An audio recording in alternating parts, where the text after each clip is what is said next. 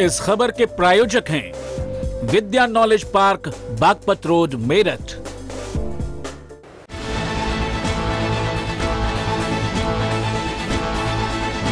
जिस आग को बुझाने के लिए पानी का इस्तेमाल किया जाता है, उसी पानी में आग लगी है। जिस पानी से आग ठंडी पड़ जाती है, उसी पानी को आग अपनी लपटों में लपेटी हुई है। सुनने और देखने में बड़ा अजीब लग रहा है, मगर हकीकत है।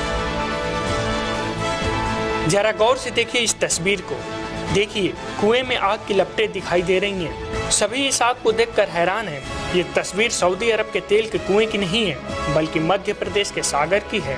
सागर के लुहेरा गाँव की है, जहाँ एक कुएँ के पानी में आग लगी है। दरअसल इस गाँव के खेत में बने 30 फीट कुएँ में बिना तिली के आग लग जाती है। आग की लपटें 6 फीट से ऊपर उठती हैं। हालाँकि जानकारी से मानते हैं कि खेत के नीचे पेट्रोलियम पदार्थ का खदान है। इसी में आग लगती है, जिस पर पानी का कोई असर नहीं होता।